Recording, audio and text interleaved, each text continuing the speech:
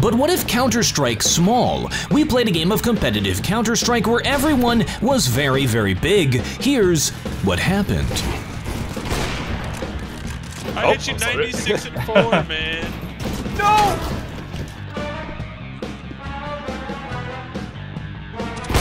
Oh, Help! Look at this ramp. Man, this is scary now. What? What? Oh my gosh! Right? I'm laughing too hard. I can't control.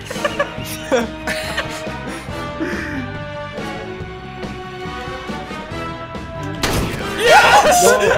that was so stupid. Greetings, hi, the War Owl greets you. The maps we're playing were made by Poofie on the workshop. Strange that we were playing on mini maps when there's no mini map. Sometimes it takes minimal effort to make something fun, because what's truly important is the idea. They actually vent dive? One. How are you up there? Only one. Oh, oh! I'm gonna say it. I'm gonna say it. This improves it. This improves the map. I love this map. Somehow, T-Dan already had pop flash lineups, and because of the Tec-9's perfect one-shot running accuracy, a $500 pistol joined the meta. With extremely close range angles and extremely fast rotates, the Tec-9 shotguns and tasers dominated. Oh, Ooh! Oh my god, I found a spot. That was in the original nuke.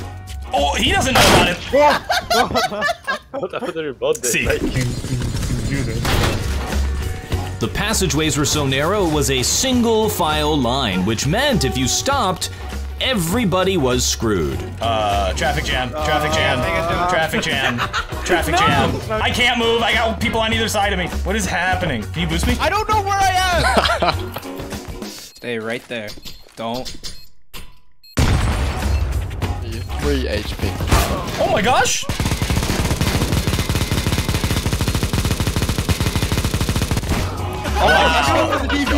Wow, Seek. That was next level.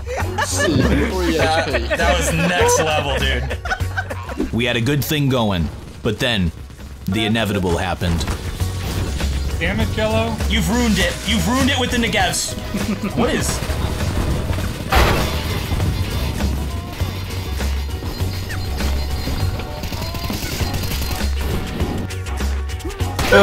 Everyone was having fun.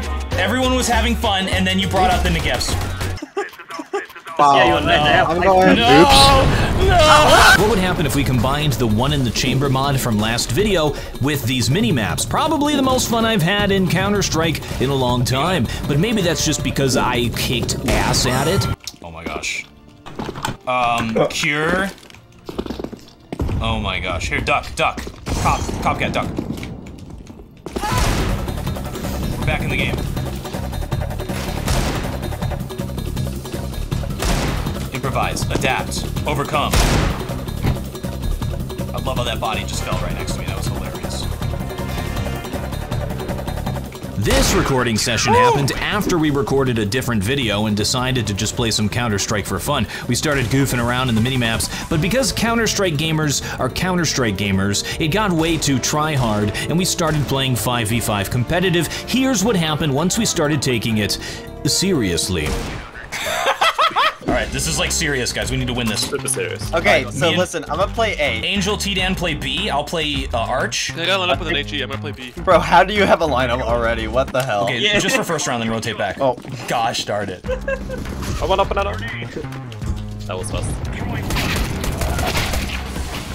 I, I, I just in the smoke! Because it took less than 5 seconds to get from one bomb site to the other, we reduced the round time to 45 seconds. This unfortunately made utility extremely overpowered. You fix one issue, you make another. Maybe Counter-Strike maps aren't supposed to be tiny. Stand like this corner, then just like throw it over. There's no sky They get to mid before us. Like, they get to top mid before us.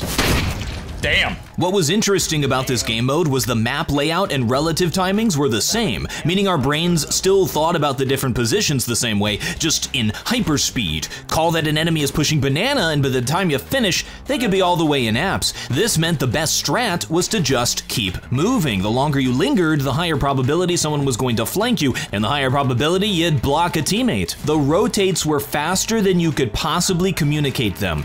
Pure chaos. Oddly enough, the game felt easier the smaller it was. Because people were so close, your shots pretty much always hit. It felt more like a mainstream arcadey game where the hitboxes are a lot more generous. Got me thinking about game design. A smaller map like this, combined with the mechanics of Counter-Strike, the low time to kill, make the gameplay extremely fast-paced and fun. You never felt like you were losing interest. In a majority of FPS games, the majority of the time is spent either holding an angle and waiting or walking from point A to point B. For the modern Zoomer TikTok ADHD mindset, maybe a game more in this fast-paced style would be more successful. Bite-sized pieces of gameplay that never gave you a chance to lose interest, the gameplay equivalent of a Mr. Beast video. I'm not saying it would be a good game or one that I would play, it's just that I think it would probably be very successful. Funny to me how big is bigger than normal tree.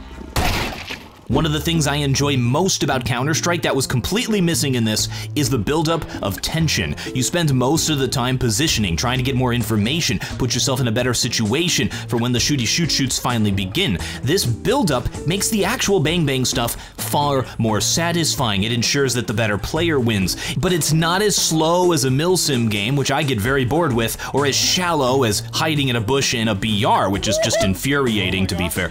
Counter-Strike is the ultimate team strategy game. It has the perfect pacing.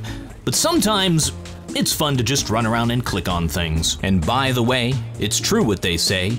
Small maps, small video. Thank you folks very much for watching. I'm The War Owl and I still have no closer. 1v1. Hit it, not hit, not hit. Bottom frag versus top frag.